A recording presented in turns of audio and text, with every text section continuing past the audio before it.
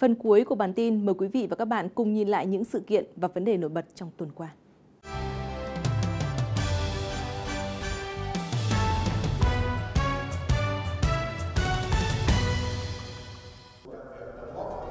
Phải xử lý, tháo gỡ, nỗ lực triển khai thực hiện chương trình mục tiêu quốc gia phát triển kinh tế xã hội vùng đồng bào dân tộc thiểu số và miền núi ngay trong tháng tư này. Đây là chỉ đạo quan trọng của lãnh đạo chính phủ tại hội thảo diễn ra trong tuần, đồng thời giải ngân 100% kế hoạch được giao, sử dụng tiết kiệm hiệu quả, tránh trồng chéo kế hoạch vốn dự kiến 14.400 tỷ đồng trong năm nay.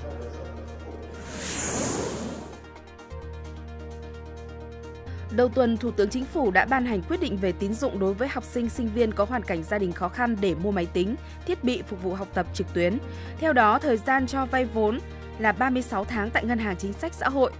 Tổng nguồn vốn vay cho chương trình này là 3.000 tỷ đồng.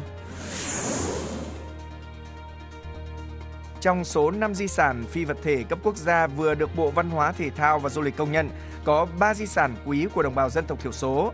trong đó có lễ hội KT, một trong những lễ hội dân gian đặc sắc có từ lâu đời của người Chăm tỉnh Bình Thuận.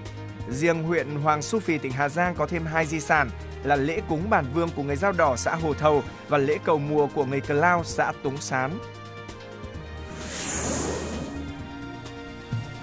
Nhiều hoạt động bày tỏ lòng thành kính với các vua hùng các bậc tiền nhân đã được tổ chức tại nhiều địa phương hướng về ngày dỗ tổ. Tại miền đất tổ Phú Thọ, ngoài các lễ thức truyền thống còn có hội thi gói nấu bánh trưng và dã bánh dày, múa rối nước, đâm đuống đánh trống đồng, hát xoan làng cổ. Dịp này tại thành phố Cần Thơ đã diễn ra lễ khánh thành đền thờ vua Hùng, quy mô lớn nhất đồng bằng sông Cửu Long. Tới chung vui tặng quà Tết cổ truyền cho Trần Nam Thơ Mây của đồng bào Khmer Nam Bộ, lãnh đạo Đảng, Nhà nước, Quốc hội, Mặt trận Tổ quốc Việt Nam các cấp chúc các vị thượng tọa, đại đức, sư sãi, à cha, Phật tử và đồng bào đón Tết vui tươi, an lành, đoàn kết, tiết kiệm, đồng thời bày tỏ mong muốn đồng bào dân tộc Khmer tiếp tục thực hiện tốt chủ trương, chính sách của Đảng và Nhà nước, giữ gìn an ninh trật tự, xây dựng khối đại đoàn kết toàn dân tộc.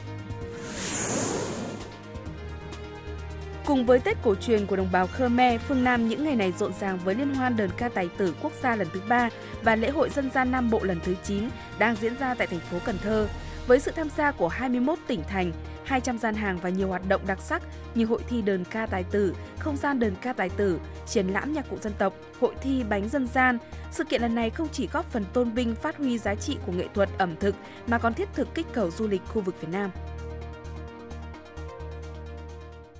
Bản tin thời sự trưa của chúng tôi hôm nay kết thúc tại đây. Cảm ơn sự quan tâm theo dõi của quý vị và các bạn. Xin kính chào tạm biệt và hẹn gặp lại.